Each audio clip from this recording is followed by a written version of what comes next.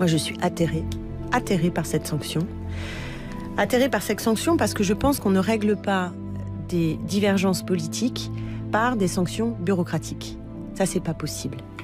Et je suis aussi atterrée parce que 4 mois, c'est exactement le nombre de mois euh, de la sanction qui euh, a été euh, ordonnée contre notre collègue Adrien Quatennens, qui, je le rappelle, a été condamné pour violence conjugale.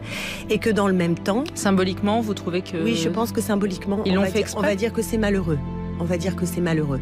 Voilà. Et que dans le même temps, quand euh, d'autres, je pense par exemple à Daniel Obono, qui euh, a pu tenir des propos sur le Hamas euh, qui ne sont pas en correspondance avec la position du groupe. Je pense à ce que nous avons pu entendre ou lire sur Sofia Chikirou, qui méritait, me semble-t-il, au moins d'être entendue pour qu'elle puisse s'expliquer devant nous. Tout cela n'a pas été fait. Quand euh, on nous dit euh, en réunion de groupe ou sur nos listes, barrez-vous, cassez-vous, il n'y a aucun rappel à l'ordre. Donc oui, j'estime qu'il y a un deux poids deux mesures qui est absolument injuste.